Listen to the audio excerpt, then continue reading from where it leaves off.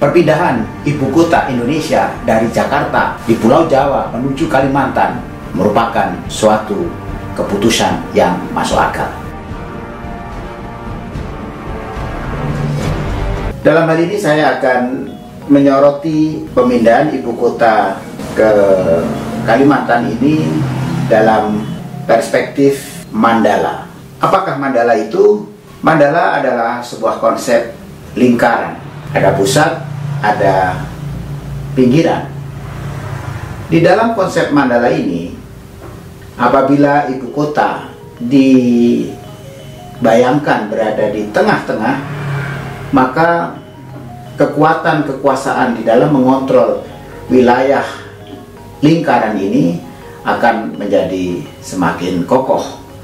Berbeda apabila ibu kota itu terletak atau pusat pemerintahan itu terletak di pinggir maka daerah-daerah yang jauh dari pusat ibu kota ini akan semakin melemah powernya. Perpindahan ibu kota dari Jakarta menuju di Kalimantan Timur adalah suatu keputusan yang masuk akal. Dan kenyataannya memang demikian. Kita melihat bahwa pembangunan yang jauh dari pusat kekuasaan di Aceh di perbatasan Kalimantan, di Papua, di Nusa Tenggara, jauh lebih kecil dibandingkan dengan yang dekat dengan kekuasaan. Hal itu atas pertimbangan ekonomi, pertimbangan strategis, pertimbangan sosial budaya dan sebagainya. Tetapi yang jelas memang daerah di luar secara strategi Mandala dan konsep spiritual Mandala memang semakin lemah. Itu yang saya pahami. Oleh karena itu, pemindahan ibu kota dari Jakarta menuju ke Kalimantan ini saya kira juga berhubungan erat dengan konsep Mandala yang dimaksud. Artinya pusat kekuasaan diharapkan nantinya akan dapat menguasai daerah-daerah yang ada di dalam lingkaran itu baik yang berada di Aceh di bagian barat dan Papua di bagian timur. Kemudian juga bagian selatan adalah Pulau Jawa.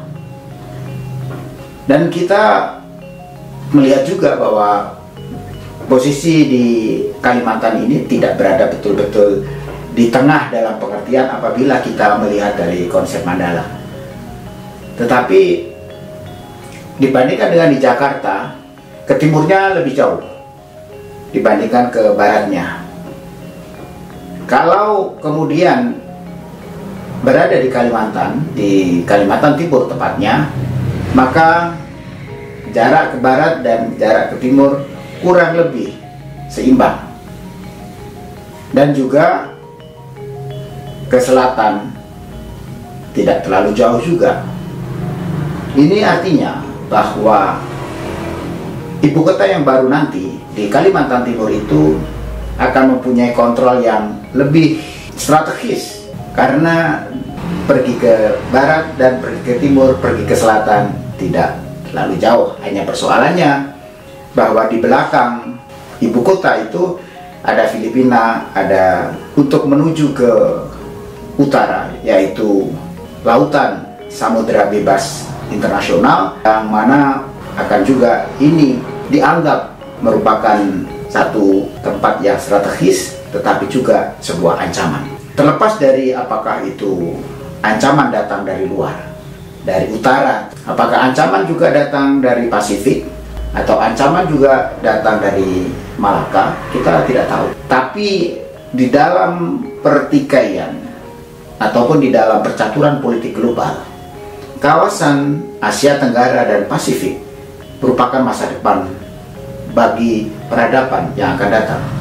Oleh karena itu, di dalam pemindahan ibu kota ini, yang perlu dipikirkan adalah tidak hanya masalah persoalan ekonomi, lingkungan, tetapi juga persoalan-persoalan menyangkut mobilitas dari kekuatan militer dan mobilitas dari warga negara sendiri di dalam upaya dapat mempersatukan sebagai magnet dari timur, selatan, dan barat sama-sama akan berakumulasi di dalam ibu kota yang baru itu. Dengan demikian, secara spiritual dan strategik filosofis, maka boleh dikatakan bahwa ibu kota yang baru ini masuk akal. Dan sudah barang tentu di dalam membangun ibu kota baru ini dibutuhkan waktu yang sangat panjang dan kemudian juga partisipasi masyarakat di dalam upaya membangun lingkungan yang sehat ini sangat diperlukan. Itu saja yang dapat saya sampaikan dan mudah-mudahan proyek ibu kota baru ini tidak membawa dampak yang negatif dan justru ke depan akan menjadi ikon dan pusat kebudayaan dan peradaban Indonesia di masa yang akan datang. Sekian terima kasih, sampai jumpa. Bye.